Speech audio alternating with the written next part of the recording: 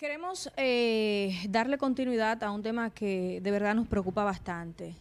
Es la situación y la condición de salud de los niños de la comunidad del Cenoví, aquí en esta zona de San Francisco de Macorís, zona arrocera, zona agrícola, donde hay centros educativos, donde hay un centro educativo en específico, que no es la primera vez que suceden este tipo de eventos eventos trágicos, por decirlo de alguna manera. Trágico porque estamos hablando del tema de salud de los niños. Estamos hablando de la seguridad de salud de los niños, maestros y todo el que hace vida escolar.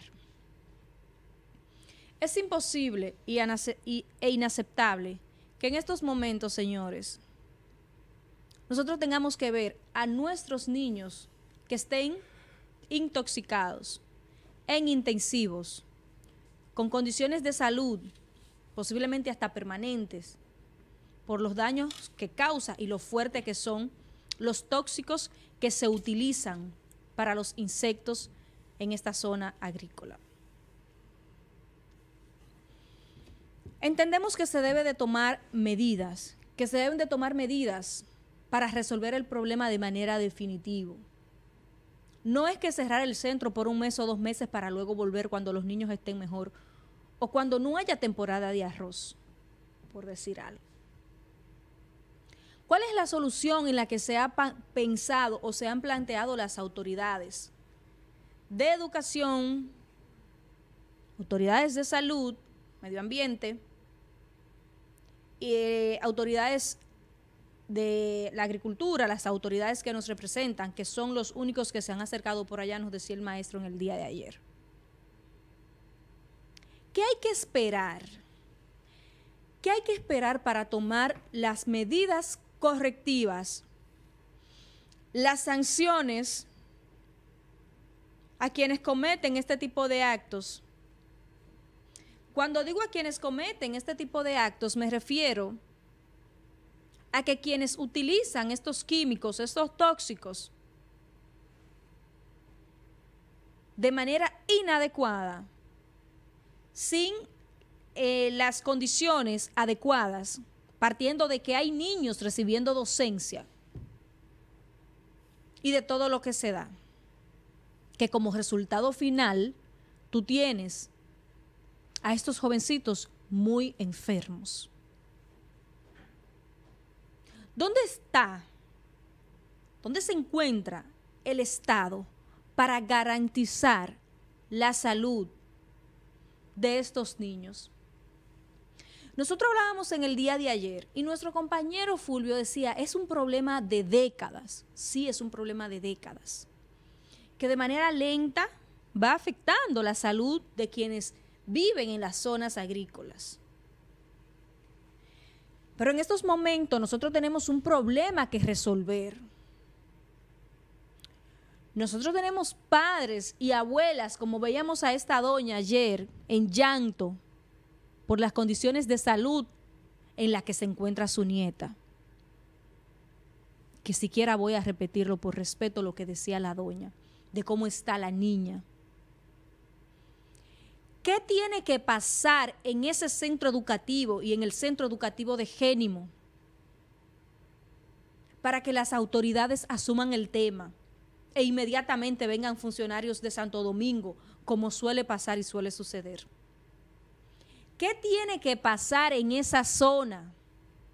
Dios libre, ¿cuántos niños tienen que morir? Yo pregunto, ¿Cuántos niños tienen que morir para que se resuelva y se sancionen a los dueños de esos terrenos, a esos productores que de manera insensata, indolente, irresponsable, echan o fumigan esos tóxicos? Echan esos tóxicos o fumigan que lo hacen sin pensar mínimamente en el bienestar de la salud de esos jóvenes que mañana serán adultos enfermos. Señores, nosotros no estamos hablando de cualquier cosa. Nosotros estamos hablando de la salud de estudiantes. Estamos hablando de gente que va a estar enferma como adulta ante la mirada inoperante, ante los ojos cegados o tapados de las autoridades locales. Y digo esto porque no es la primera vez. No es la primera vez que deben de sacar a los niños de esos centros educativos. ¿Quiénes son los dueños de esos terrenos o quiénes son los que echan estos tóxicos? ¿Quiénes lo hacen? Nadie sabe nada, nadie ve nada, nadie hizo nada. Repito, ¿qué tiene que pasar en esos centros educativos, autoridades? ¿Cuántos niños tienen que perder la vida para que se solucione de manera definitiva ese problema? Señores, eso da pena, eso te muerde la conciencia y el corazón al tú ver las condiciones y cómo se van afectando la salud. Póngase usted en el lugar de uno de esos padres. Imagínese usted que su niño, que su adolescente esté en un centro educativo y que lo saquen convulsionando, que tengan que ponerle aparatos en la boca para que no se muerdan la lengua.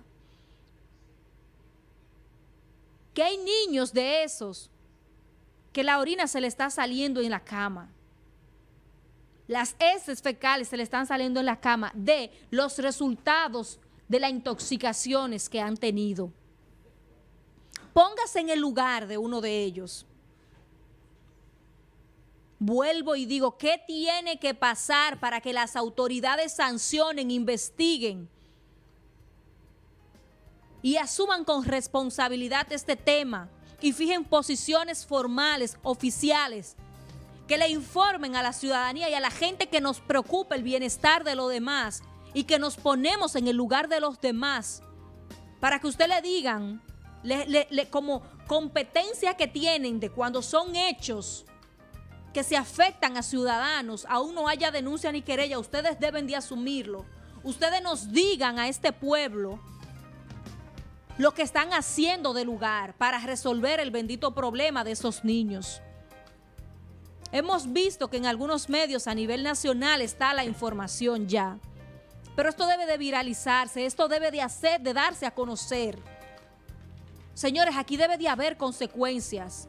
Nosotros no estamos hablando de cualquier cosa. Nosotros no estamos hablando del arreglo de una calle. Nosotros ni siquiera estamos hablando de que no hay agua y que es algo demasiado delicado igual. Nosotros estamos hablando que de manera directa se está impactando la salud de niños y adolescentes y maestros y hasta la directora del centro educativo, nos decía el profesor ayer, está enferma. Señores, la salud no es un juego, la intoxicación no es un juego. Y no estamos hablando de cosas que la vida les presentó, que le dio una enfermedad. Estamos hablando de causantes de daños por terceros a seres humanos inocentes.